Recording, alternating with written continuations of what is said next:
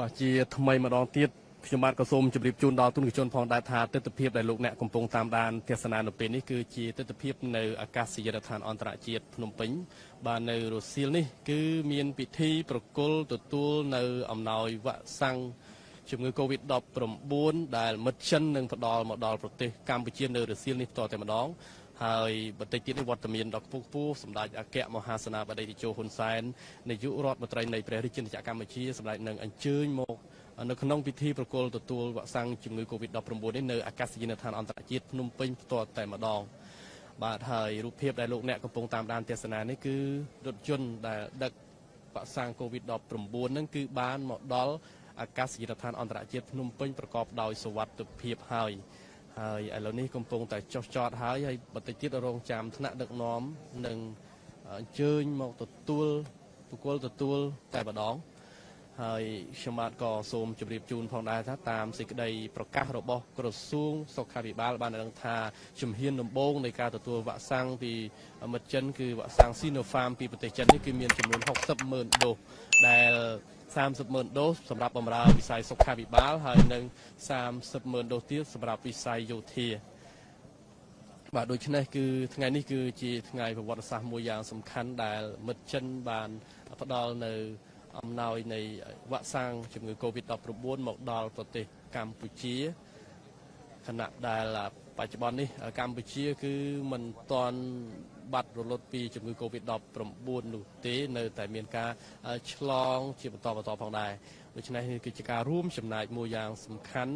ដែលរដ្ឋាភិបាលនៃប្រទេសចិនជួយមកដល់រដ្ឋាភិបាលនៃប្រទេសកម្ពុជាយើងបាទតាមកម្មវិធីដែលបានគ្រោងទុកក្រោយពីពិធីប្រគល់ទទួលនៅវ៉ាក់សាំង COVID-19 ពីមិត្តចិនរួចហើយនៅរុស្ស៊ីលល្ងាចនេះផ្ទាល់តែម្ដងសម្ដេចតេជោនាយករដ្ឋមន្ត្រីនឹងអញ្ជើញ ធ្វើសន្និសីទសារព័ត៌មាន បាទជុំវិញតកតងនឹងបញ្ហានៃជំងឺ Covid-19 ក៏ដូចជាតកតងទៅនឹងការប្រាស់ប្រាស់វ៉ាក់សាំង Covid-19 Sinopharm របស់ប្រទេសចិននេះផងដែរបាទទូនឹងជននៅពេលនេះគឺថាទ្វាយន្តហោះកំពុងតែត្រៀមដាក់ចណ្ដាលចុះហើយដើម្បីដឹកជញ្ជូននៅវ៉ាក់សាំង Sinopharm របស់ប្រទេសចិនពីយន្តហោះពិសេសនេះបាទ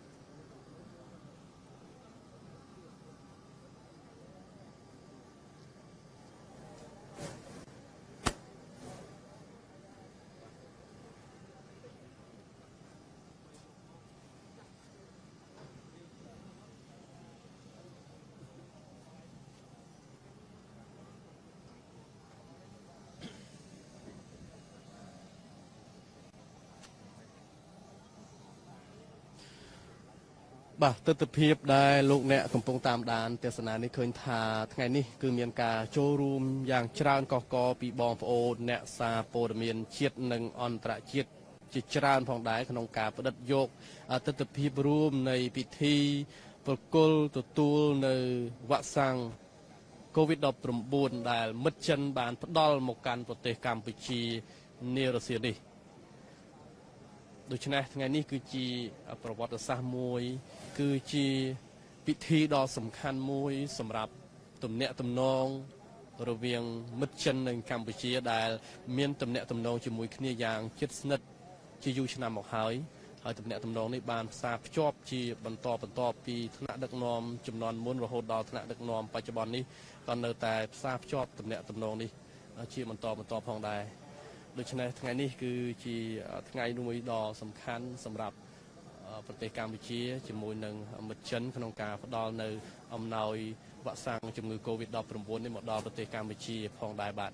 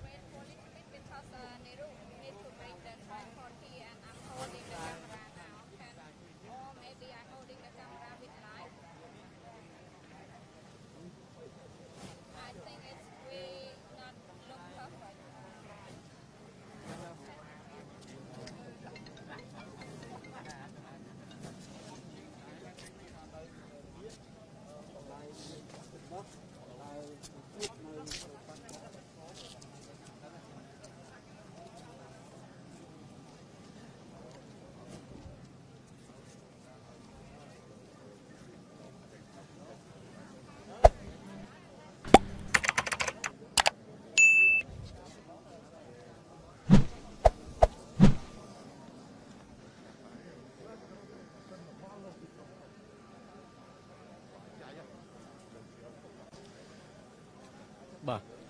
ប្រិយមិត្តទូនជនជាទីគោរពនៅពេលនេះខ្ញុំបាទនឹងធ្វើសេចក្តីរាយការណ៍ជូនលោកអ្នកជាបន្តទៅទៀតតកតងទៅនឹងថ្ងៃនេះជាជាថ្ងៃមួយយ៉ាងសំខាន់សម្រាប់ប្រទេសកម្ពុជាដែលទទួលបាននៅវ៉ាក់សាំងជំងឺ Covid-19 ពីមិត្តចិន ដែលនឹងផ្ដល់ជូនមកដល់ប្រទេសកម្ពុជាហើយតាមការឲ្យដឹងពីក្រសួងសុខាភិបាលបានដឹងថាជំហានដំបូងនៃវ៉ាក់សាំង COVID-19 Sinopharm នេះគឺផ្ដល់ជូនប្រមាណជា60ម៉ឺនដូសសម្រាប់ប្រទេសកម្ពុជាជំហានដំបូងដែលក្នុងនោះ30ម៉ឺនដូសសម្រាប់បម្រើវិស័យ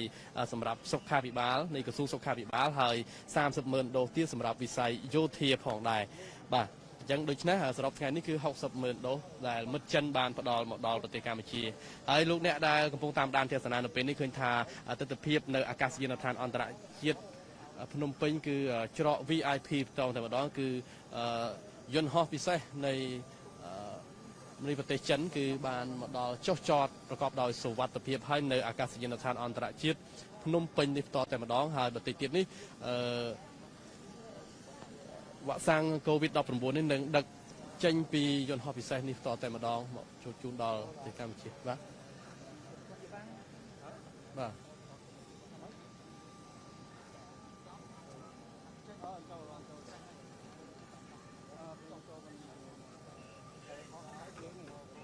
បាទឥឡូវនេះគឺថា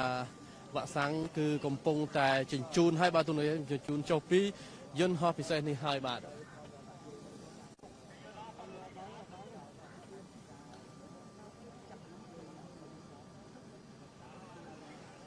បាទហើយថ្ងៃនេះឃើញថាថ្នាក់ដឹកនាំសំខាន់សំខាន់គឺថ្នាក់ដឹកនាំទាំងប្រទេសកម្ពុជាក៏ក៏ដូចជាថ្នាក់ដឹកនាំចិនក៏បានអញ្ជើញមកផងដែរហើយជាពិសេសគឺខាងមន្ត្រីទូតនៃប្រទេសចិនប្រចាំនៅកម្ពុជាក៏បាននឹងអញ្ជើញមកដល់អញ្ជើញនៅក្នុងពិធីនេះយ៉ាងច្រើនកកផងដែរហើយក្នុងនោះខាងមន្ត្រីនៃក្រសួងសុខាភិបាលមន្ត្រី ក្រសួងអីក៏អញ្ជើញចូលរួមយ៉ាងច្រើនកកផងដែរហើយម្យ៉ាងមួយទៀតខាងក្រសួងការពារជាតិគឺកំពុងតែរងចាំទទួលនៅវ៉ាក់សាំងនៃជំងឺ Covid-19 នេះនៅអាកាសយានដ្ឋានអន្តរជាតិភ្នំពេញនេះផងដែរបាទ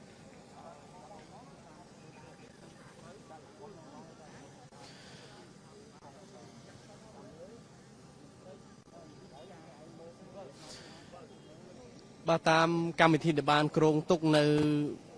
ពេលដែលដឹកជញ្ជូនវ៉ាក់សាំងនេះហើយគឺនឹងមានពិធីបាទធ្វើពិធីប្រគល់នឹងទទួលវ៉ាក់សាំងនេះផងដែរដែលក្នុងនោះក្រមអធិបតីភាពដ៏ខ្ពង់ខ្ពស់សម្ដេចអគ្គមហាសេនាបតីតេជោហ៊ុនសែននាយករដ្ឋមន្ត្រីនៃព្រះរាជាណាចក្រកម្ពុជាដែលសម្ដេចនឹងមានសារតាក់ទងទៅនឹងនៃការប្រើប្រាស់វ៉ាក់សាំងនេះឬក៏យ៉ាងណានោះទេហើយក្រោយពីការពិធីប្រគល់ទទួលរួចរាល់ហើយនោះ សម្ដេចតេជោនាយករដ្ឋមន្ត្រីនៃព្រះរាជាណាចក្រកម្ពុជាសម្ដេចនក៏នឹងអញ្ជើញធ្វើសន្និសីទសារព័ត៌មានបាទជំវិញតាក់ទងទៅនឹងបញ្ហានៃជំងឺ Covid-19 ក៏ដូចជាការប្រើប្រាស់វ៉ាក់សាំង Sinopharm របស់ប្រទេសចិនដែលជាជំនួយមកដល់ប្រទេសកម្ពុជានារុស្ស៊ីនេះផងដែរបាទ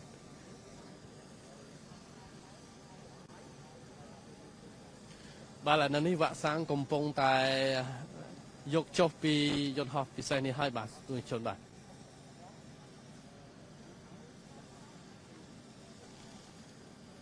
ហើយដោយដែលខ្ញុំបាទជម្រាបជូនគឺតាមសេចក្តីប្រកាសរបស់ក្រសួងសុខាភិបាលគឺបានដឹងថាជំហានដំបូងនេះគឺអំណោយដែលមិត្តចិនបានផ្ដល់មកដល់ប្រទេសកម្ពុជាគឺវ៉ាក់សាំង COVID-19 នេះគឺផ្ដល់ចំនួន60ម៉ឺនដូសសម្រាប់ប្រទេសកម្ពុជាជាជំហានដំបូង ហើយសម្រាប់30ម៉ឺនដូសសម្រាប់បម្រើសុខាភិបាលហើយនិង30ម៉ឺនដូសទៀតសម្រាប់បម្រើវិស័យយោធាផងដែរដូច្នេះសរុបរួមគឺ60ម៉ឺនដូសដែលមិត្តចិនបានផ្ដល់មកដល់ប្រទេសកម្ពុជានាថ្ងៃនេះហើយបន្តិចទៀតវត្តមានដល់ខ្ពង់ខ្ពស់សម្ដេចអគ្គមហាសេនាបតីតេជោហ៊ុនសែននាយករដ្ឋមន្ត្រីនៃព្រះរាជាណាចក្រកម្ពុជាសម្ដេចនឹងអញ្ជើញនៅក្នុងពិធីប្រគល់ទទួលនេះផងដែរ ហើយតាមកម្មវិធីដែលបានក្រុងទុកគឺនៅពេលដែលចប់នៅពិធីប្រគល់ទទួលនឹងមានសន្និសីទសារព័ត៌មានដែលសម្ដេចនឹងថ្លែងតាក់ទងទៅនឹងការប្រើប្រាស់វ៉ាក់សាំង COVID-19 នេះផងដែរបាទ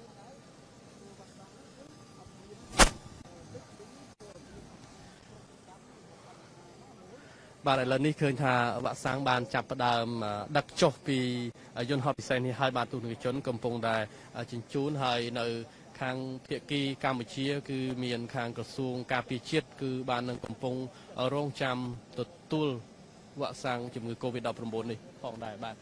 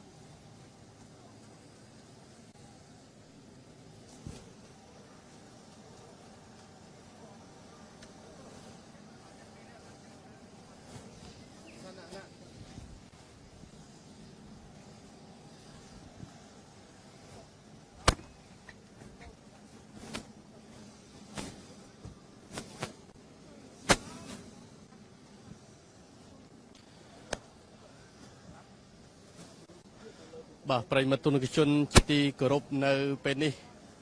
វត្តមានដ៏ខ្ពង់ខ្ពស់សម្ដេចអគ្គមហាសេនាបតីតេជោហ៊ុនសែននាយករដ្ឋមន្ត្រីនៃព្រះរាជាណាចក្រកម្ពុជាសម្ដេចបានអញ្ជើញមកដល់អាកាសយានដ្ឋានអន្តរជាតិភ្នំពេញហើយនៅក្នុងពិធីប្រគល់និងទទួលនៅវ៉ាក់សាំងជំងឺ Covid-19 ពីសាធារណរដ្ឋប្រជាមានិតចិនដែលផ្ដល់មកប្រទេសកម្ពុជានាពេលនេះបាទ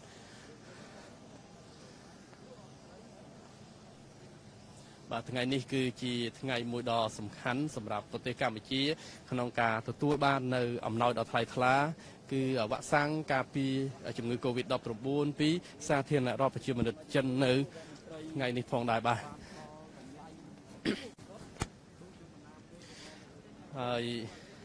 ខ្ញុំបាទសូមជម្រាបជូនហើយដោយដែលខ្ញុំអាចជម្រាបជូនមុននេះបន្តិចហើយគឺថា សម្រាប់វ៉ាក់សាំងនៅថ្ងៃនេះដែលមិត្តចិនផ្ដល់មកជូនប្រទេសកម្ពុជានាថ្ងៃនេះ មានទាំងអស់ចំនួន60ម៉ឺនដូសហើយក្នុងនោះបានបញ្ជាក់ថាសម្រាប់30ម៉ឺនដូសគឺប្រើសម្រាប់វិស័យសុខាភិបាលហើយ10ម៉ឺនដូសទៀតប្រើសម្រាប់វិស័យយោធាបាទអា នេះគឺជាអត្រាយ៉ាងសំខាន់វិស័យសុខភិបាលគឺជាវិស័យសំខាន់ណាស់ដែលបានជួយចំណែកក្នុងការបង្កើននូវសេវាសុខភាពហើយតាមក្រុមគ្រូពេទ្យគឺជាផ្នែកមួយយ៉ាងសំខាន់ក្នុងការយកចិត្តទុកដាក់នៃសេវាសុខភាពដល់ប្រជាពលរដ្ឋហើយក៏ត្រូវតែមានអនុភាពក្នុងការប្រើប្រាស់វ៉ាក់សាំងដំបូងមុនគេតែម្ដងបាទ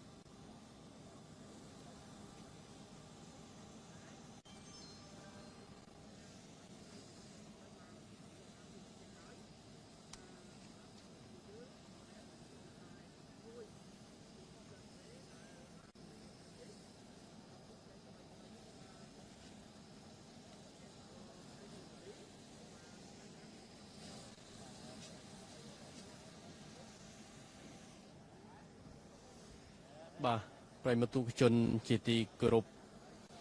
អំបញ្ញមិញវត្តមានដ៏ខ្ពង់ខ្ពស់សម្ដេចអគ្គមហាសេនាបតីតេជោហ៊ុនសែននាយករដ្ឋមន្ត្រីនៃព្រះរាជាណាចក្រកម្ពុជាសម្ដេចបានអញ្ជើញមកដល់អាកាសយានដ្ឋានអន្តរជាតិភ្នំពេញហើយដើម្បីត្រៀមនៅពិធីប្រគល់ទទួលនៅវ៉ាក់សាំងជំងឺ Covid-19 ពីមិត្តចិននាពេលបន្តិចទៀតនេះហើយរូបភាពដែលលោកអ្នកកំពុងតាមដានទស្សនានេះឃើញថាយន្តហោះពិសេសនៃប្រទេសចិនបាន ដឹកនៅវ៉ាក់សាំងជំងឺ Covid-19 មកដល់ប្រទេសកម្ពុជាហើយឥឡូវនេះក្រមការងារកំពុងតែដឹកជញ្ជូនចេញពីយន្តហោះពិសេសនេះអឺពីដឹកពីយន្តហោះនេះចុះហើយលោកនាយកជនបាទឥឡូវនេះកំពុងដឹកជញ្ជូនរងចាំការដឹកជញ្ជូនចប់សពគ្រប់ហើយគឺពិធីបកលទទួលនឹងចាប់ផ្ដើមធ្វើនៅពេលបន្តិចទៀតផងដែរ ហើយក្រោយពីពិធីប្រគល់ទទួលហើយនោះគឺសម្ដេចតេជោនាយករដ្ឋមន្ត្រីកម្ពុជានឹងអញ្ជើញធ្វើសន្និសីទសារព័ត៌មានតាក់ទងទៅនឹងបញ្ហាការវិវត្តថ្មីថ្មីជំងឺ Covid-19 ក៏ដូចជា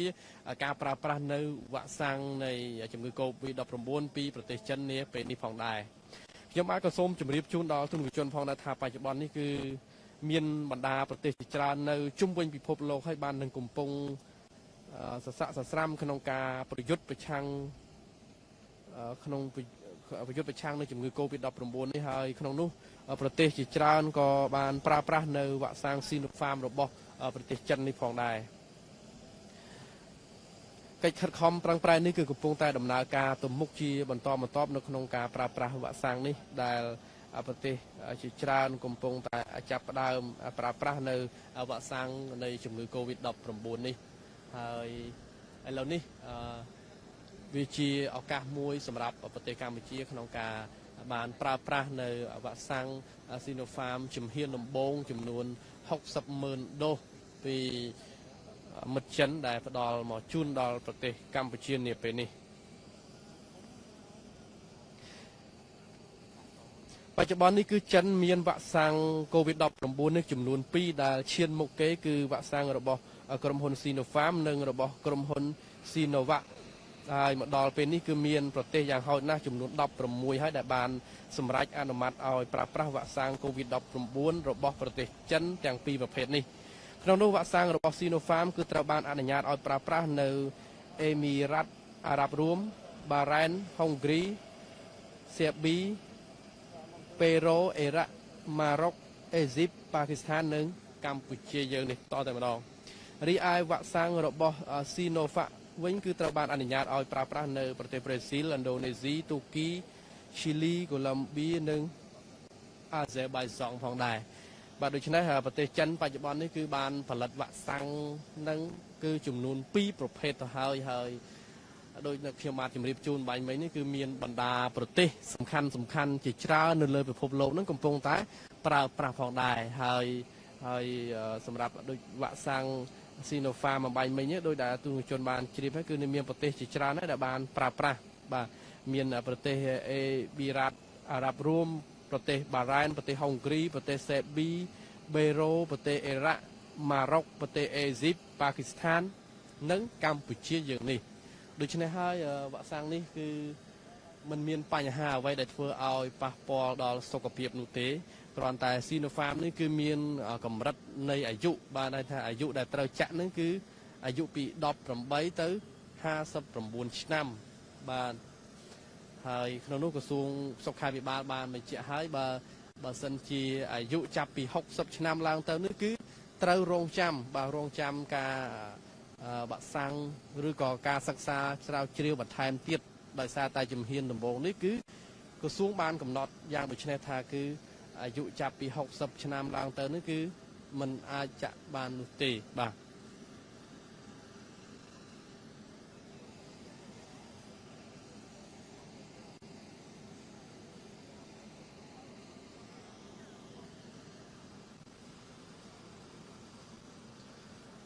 ហើយដោយដែលខ្ញុំបានជម្រាបជូនបាញ់មិញនេះគឺវ៉ាក់សាំងនេះគឺប្រជាជនចិនគេគឺកំពុងតែចាក់ ជាយូរមកហើយ គឺតាំងពីប្រទេសចិនបានផលិតបានតេស្តហើយរួចរាល់នោះគឺគេបានចាក់ជូនដល់បងប្អូនប្រជាជននៃប្រទេសចិននោះរួចរាល់ទៅហើយបាទ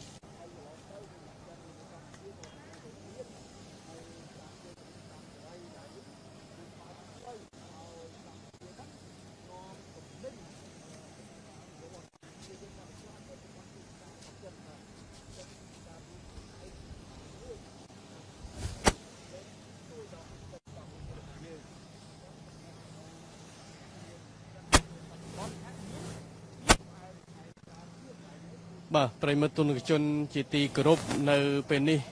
រថយន្តធំសម្រាប់ដឹកវ៉ាក់សាំងរបស់ប្រទេសកម្ពុជាគឺបានធ្វើដំណើរចូលមកដល់អាកាសយានដ្ឋានអន្តរជាតិភ្នំពេញហើយដើម្បីទទួលវ៉ាក់សាំងពីយន្តហោះពិសេសនេះផងដែរបាទបាទនៅលើរថយន្តនេះគឺមានសរសេរអក្សរធំធំហើយមានទង់ជាតិកម្ពុជានិងមិត្តចិន ដែលដាក់សរសេរអក្សរយ៉ាងធំធំថាចំណងមិត្តភាពដៃខេត្តកម្ពុជាចិនកម្ពុជានៅប្រទេសចិន គឺបានភ្ជាប់ទំនាក់ទំនងជាមិត្តភាពនឹងគ្នាអស់រយៈពេលជាច្រើន ឆ្នាំមកហើយទូនជន ហើយចំណងមិត្តភាពនេះបានផ្សារភ្ជាប់នៅទំនាក់ទំនងគ្រប់ជ្រុងជ្រោយបាទហើយคล้ายទៅជាចំណងមិត្តភាពដៃថែបកម្ពុជាចិនដ៏រឹងមាំផងដែរបាទនេះ នៅពេលនេះរថយន្តសម្រាប់ដឹកវ៉ាក់សាំង COVID-19 នេះគឺបានធ្វើដំណើរចូលមកដល់ហើយដើម្បីត្រៀមដឹកនៅវ៉ាក់សាំង COVID-19 នេះដែលពេលនេះក្រុមការងារបច្ចេកទេសកំពុងតែដឹកជញ្ជូននៅវ៉ាក់សាំង Sinopharm បាទពីមិត្តចិនហ្នឹងគឺចុះពីយន្តហោះពិសេសនៃប្រទេសចិនហើយគឺដើម្បីបន្តិចគឺ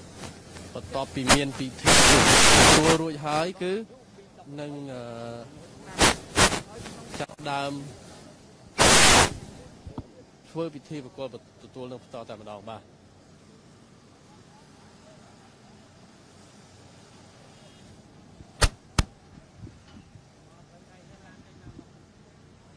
បាទឥឡូវនេះអឺវ៉ាក់សាំង COVID-19 នេះគឺកំពុងតែដឹកចេញជាបណ្ដាបណ្ដាហើយទស្សនិកជនបាទ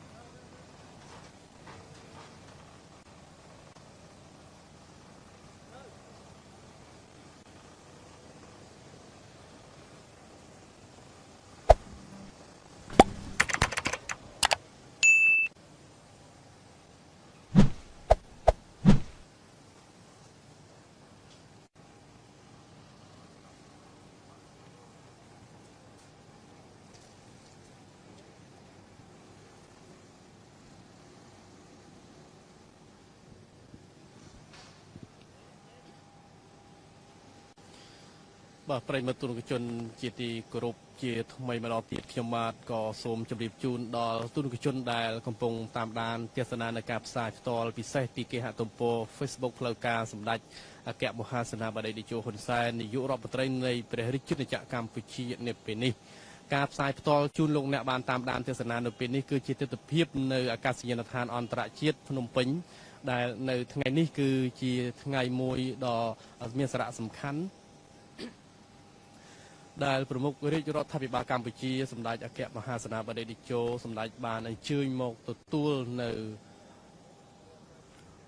វ៉ាក់សាំងដែលជាអំណោយរបស់មិត្តចិនផ្ដល់មកជូនដល់ប្រទេសកម្ពុជានារសៀលថ្ងៃ7កុម្ភៈឆ្នាំ2021នេះ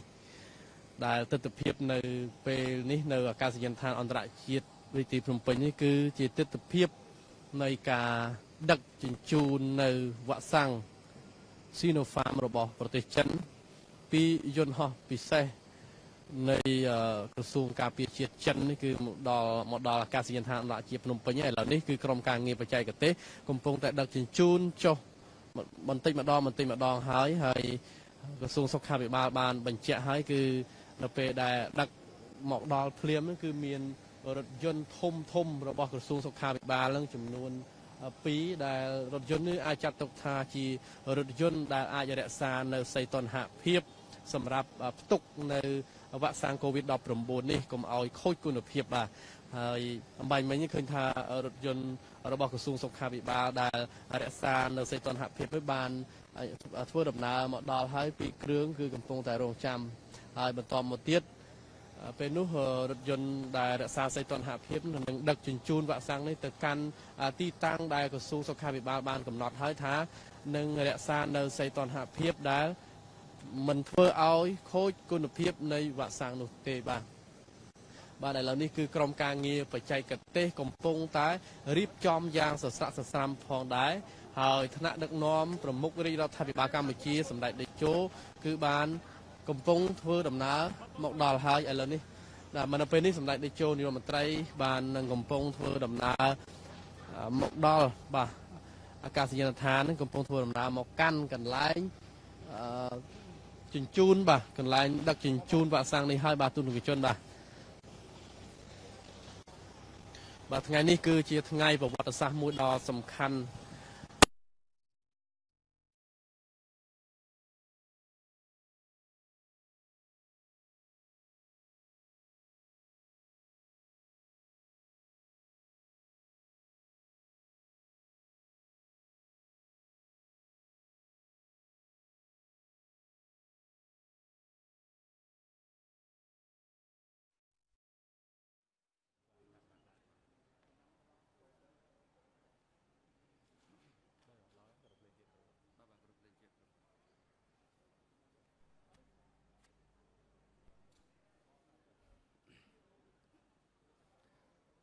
សូមគោរពជំរាបជូនអង្គប្រតិទាំងមូលនៅក្នុងគណៈនេះគឺវត្តមាននៅពងពោះរបស់សម្ដេចអគ្គមហាសេ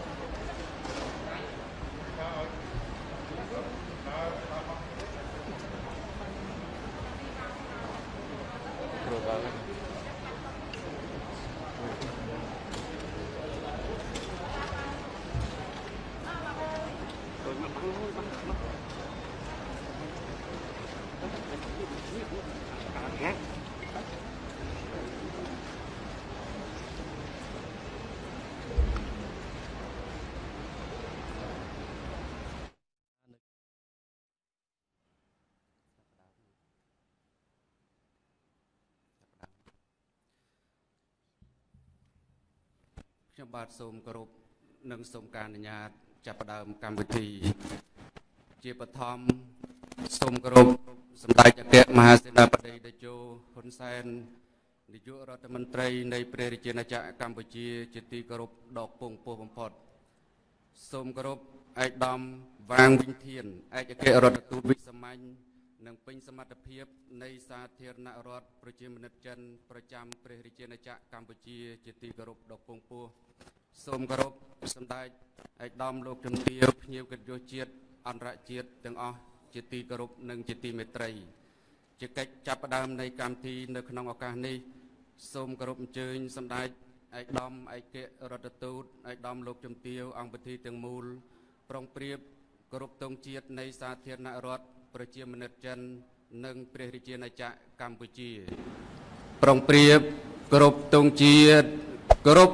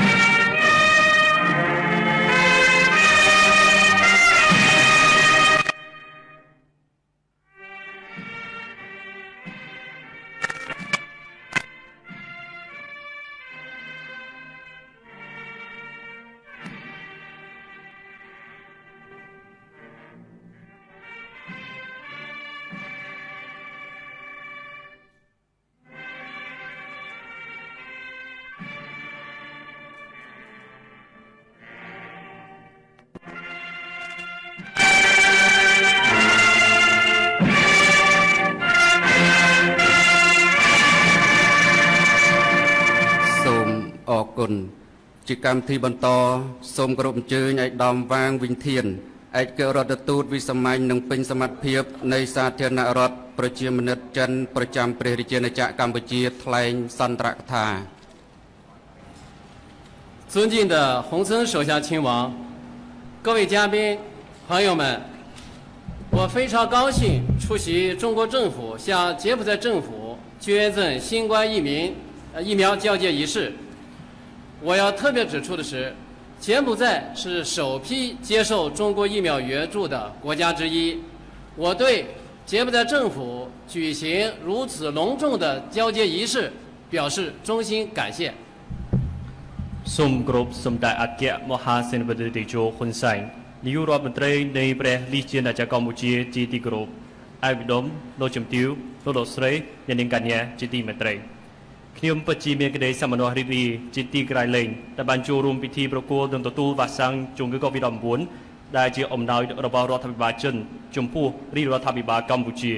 ខ្ញុំសូមបញ្ជាក់ថាជាពិសេសថាកម្ពុជាគឺស្ថិតនៅក្នុងចំណោមប្រទេសដំបូងគេដែលបានទទួលវ៉ាក់សាំង COVID-19 ពីប្រទេសចិនហើយខ្ញុំសូមថ្លែងអំគុណយ៉ាងជ្រាលជ្រៅបំផុតចំពោះប្រទេសកម្ពុជាបានរៀបចំពិធីដ៏អស្ចារ្យលើថ្ងៃនេះ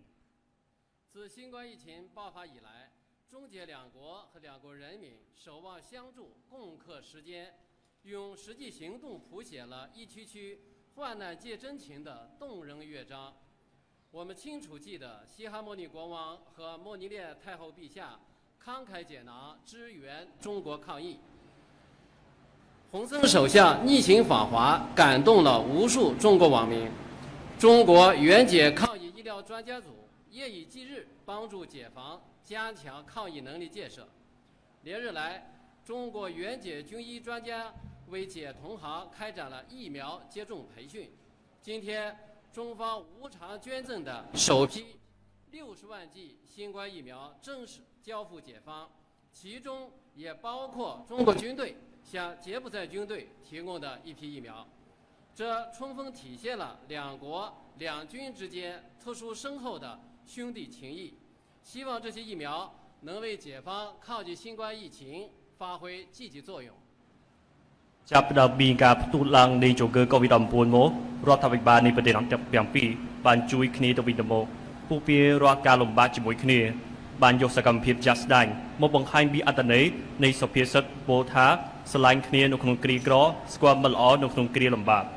យើងនៅតែចងចាំយ៉ាងច្បាស់អំពីព្រះរាជសកម្មភាពដ៏ថ្លៃថ្លារបស់ព្រះករុណាព្រះបាទសម្ដេចព្រះបរមនាថនរោត្តមសីហមុនីព្រះមហាក្សត្រនៃព្រះរាជាណាចក្រកម្ពុជា